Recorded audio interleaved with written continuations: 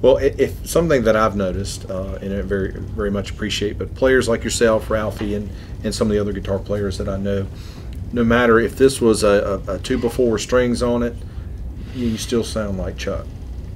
You know, and, and Sound is in your hands. it- it's definitely in the hands, and I totally agree with that. And I think you see a lot of uh, semi-pro amateur players. They're they're chasing what it looks like, what the name on the pedal or the amplifier is to try to get that sound when it's right here, It is in right here in your hands. And and you've been playing now over 40 years, Try 50. 50 years. Sorry, I didn't mean to 50, but 50 years. I deserve every year I put in. 51, really. Well, from, from what I read, uh, you, you played violin, trumpet, and, and tuba. Guitar. And, and you played guitar a little bit, Mm, and then I you went into bass. Uh, How much of that do you think influenced you on the bass? All of it. The tuba, I think, influenced me more than anything else. The Mm-hmm. tuba. And then, of course, Slam Stewart was always somebody that I listened to. Uh, and, like, I got a kick out of listening to him, uh, his vocal thing while he was playing. On the, on the tuba. No, on the, on the upright Okay, bass, Slam okay. Stewart. Okay. Also, too, when he wasn't vocalizing while he was playing, his touch, when he would play a note, you would hear it. It wasn't deep, it wasn't heavy, it was always clear, and it had a spit on it. You know, and this is before I started playing bass. What, what, how would you describe your sound? What, would- what would be the Chuck Rainey signature sound, touch, feel, or Uh, somebody else has got to say that. Uh, I don't like uh, um, too much treble on the bass, so I have a tendency to be more of a ghosty player. Um, that's about all. Someone else has to identify what I do. Jerry Jemmott says that you're a cute player. He's about one of my closest friends. He Yeah. said, Chuck, you play real cute. Now, I don't know whether he meant that positively or negatively, but Jerry's a very strong guy. He plays way back here, yeah, and that would tear my fingers up. yeah? So I play right here at the bottom of the uh, the neck, where it's softer, you know. You have a very light feel. It looks like when I watch you play. Uh, yeah, I do. Yeah, I do. I play it. I'm not- not as light as I would. Not as light.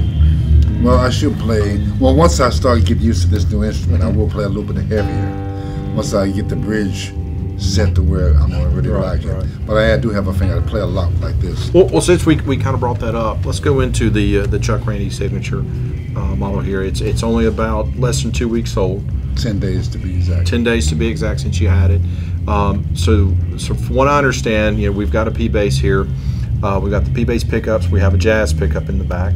But this, you know, this is a really nice bass. I've played it, and uh, I'm not a bass player by any means, but I can hear the way the notes jump out of it, and, and that's what I like. Something that's loud acoustically. I think you're going to have a very good instrument when, it, when it's amplified. But on this bass, what in particular, other than adding the pickup, did you want with the bass? Actually, I wasn't quite sure. Other than I did not want a brass nut here. Okay. I want a bone or plastic.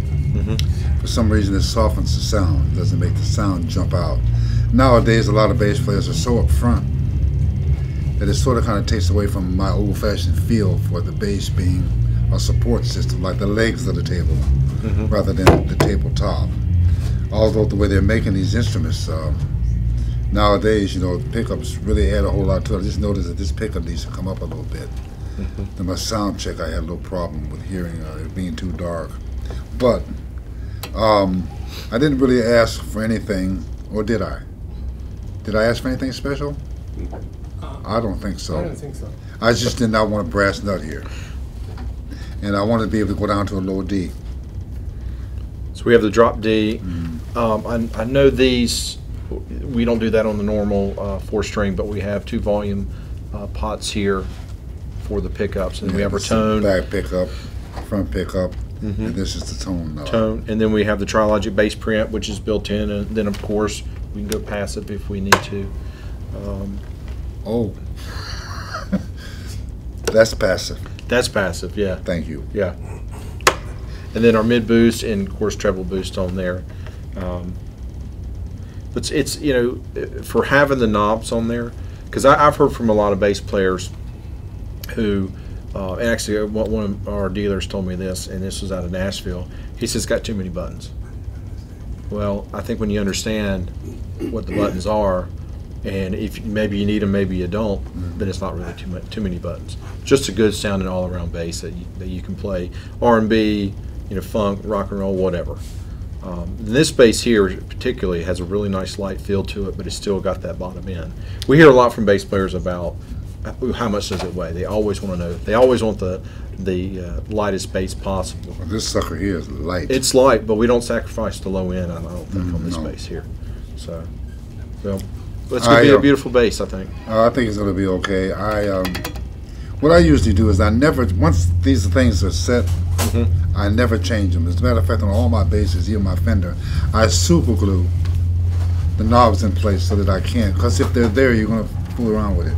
Well, for for different session work that you've done with the Xotic bass, how helpful has it been to be able to adjust the mid or, or the, the treble? Or I bass? haven't touched them. Okay. Like I put everything flat and just play it the way that it is, so that I don't have to worry about what I want. Because you know, if you're a person like me, I'm a typical Gemini. I will try everything that's possible to try, mm-hmm. just by nature. But if I can't move it, or if, if my mind is set on not moving it, you can't move the tone of an upright. It is what it is. Well, you change here, I would think. Yeah, for whatever you want to do, but not for tone, maybe for something like this. But like I like to keep it the way that it is and never mm-hmm. change it. Um, never change it. I've asked to do a lot of overdub work over the years, mm-hmm. mainly because the previous bass player may have been a better player than me. Maybe the line was perfect, but the notes weren't specific. Mm-hmm. They weren't distinctive. They couldn't really hear it. So I have a tendency to play with the tip of my finger. Mm-hmm. So you get a little nail because I kick back and forth mm-hmm. when I play. So that I get the same sound here that I get here. And so it gives the bottom a little punch and that sound trebly. Right. You know, because I want to sound as much like an upright player as I can.